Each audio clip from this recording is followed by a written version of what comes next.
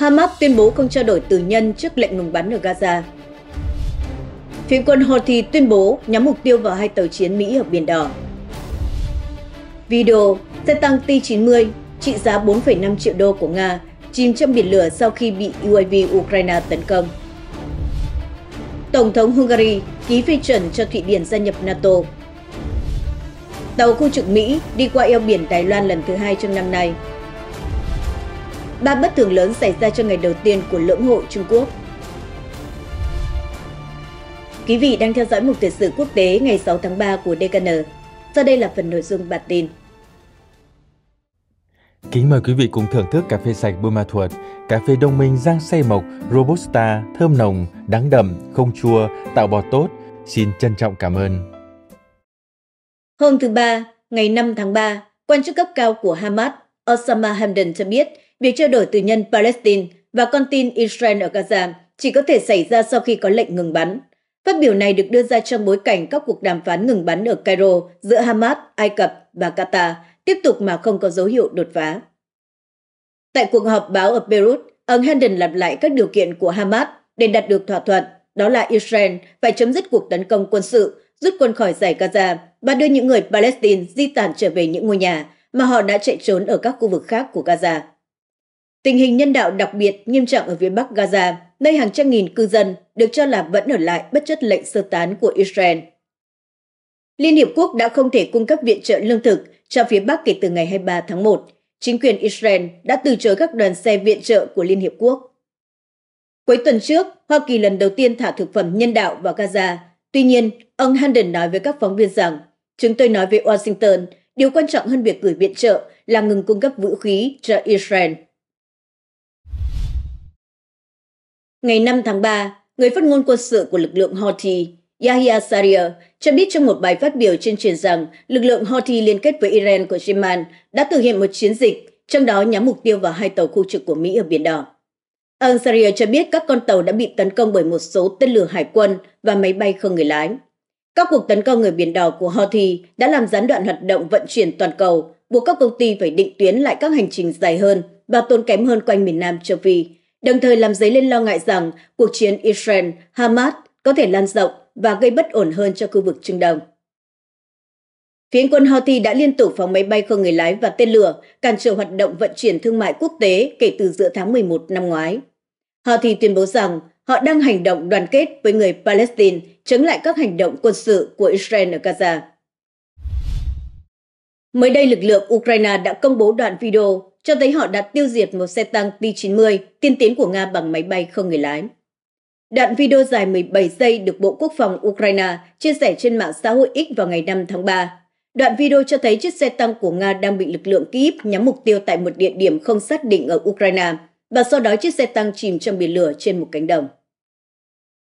T-90 là xe tăng chiến đấu chủ lực được quân đội Nga sử dụng trong cuộc chiến đang diễn ra ở Ukraine. Bộ Quốc phòng Ukraine viết đó là pháo hoa, một máy bay không người lái FPV đã phá hủy xe tăng T-90 của Nga trị giá 4,5 triệu đô. Trang web 1945 chỉ ra rằng những chiếc T-90 mới có thể trị giá khoảng 4,5 triệu đô, trong khi các phiên bản trước đó và rẻ hơn dao động từ 2,5 triệu đến 3,5 triệu đô.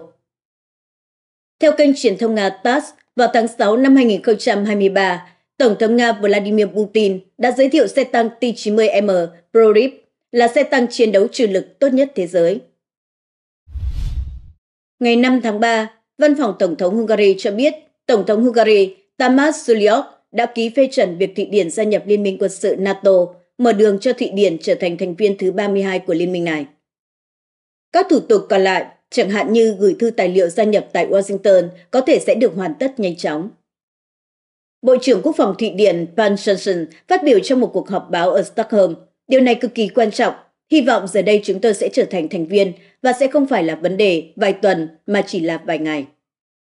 Ông Johnson nói tiếp, sẽ tốt cho Thụy Điển và sẽ tốt cho NATO, sẽ tốt cho sự ổn định trong toàn bộ khu vực Euro-Atlantic khi Thụy Điển có thể trở thành thành viên chính thức của NATO.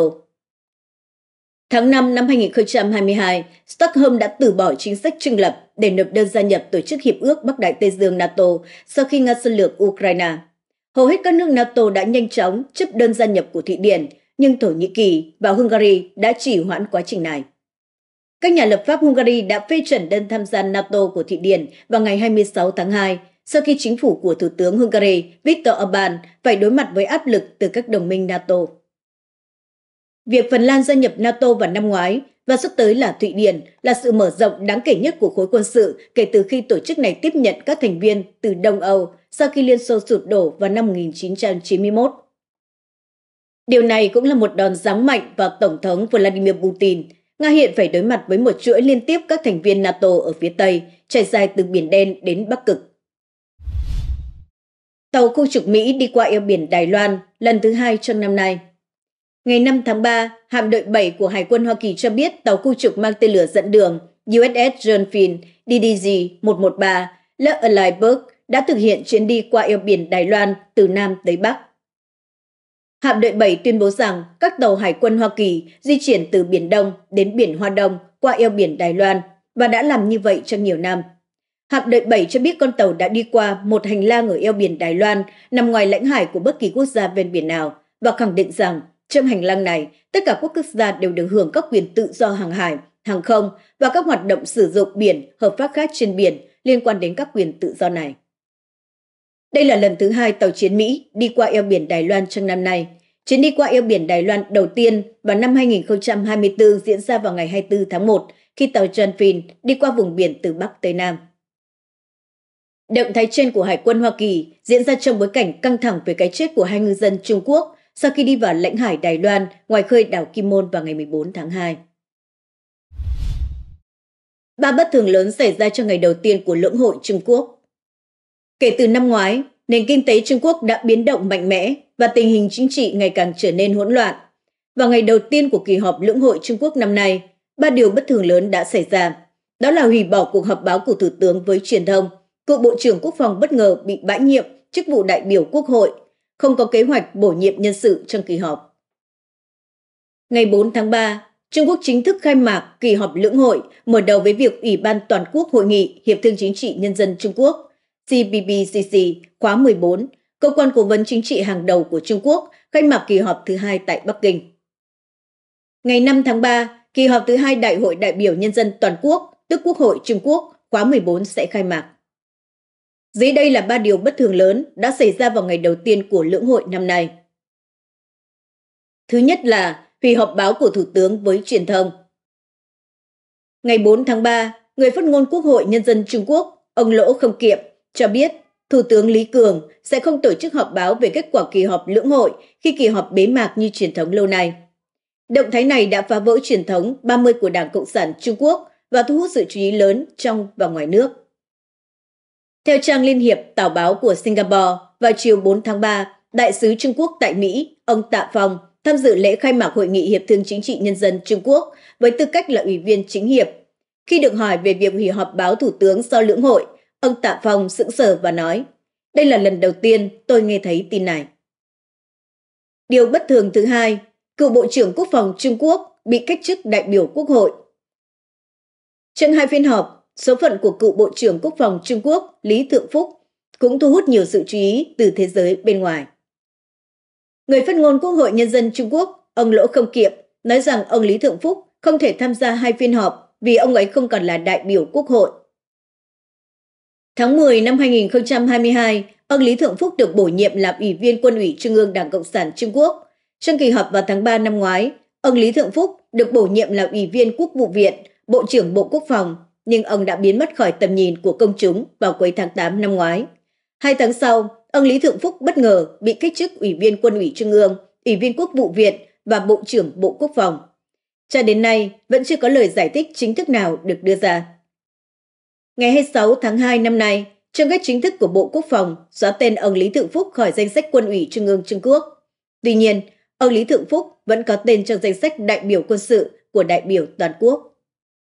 Mãi cho đến khi người phát ngôn Lỗ Không Kiệm trả lời câu hỏi của phóng viên từ Liên hợp Tào Báo, thế giới bên ngoài mới biết rằng ông Lý Thượng Phúc đã không còn là đại biểu Quốc hội. Điều bất thường thứ ba, Quốc hội Trung Quốc chưa có kế hoạch bổ nhiệm Bộ trưởng Ngoại giao tiếp theo. Trong năm qua, quân đội và ngoại giao của Trung Quốc gặp bất ổn lớn. Ông Lý Thượng Phúc và ông Tần Cương bị cách chức chỉ sau vài tháng nhậm chức.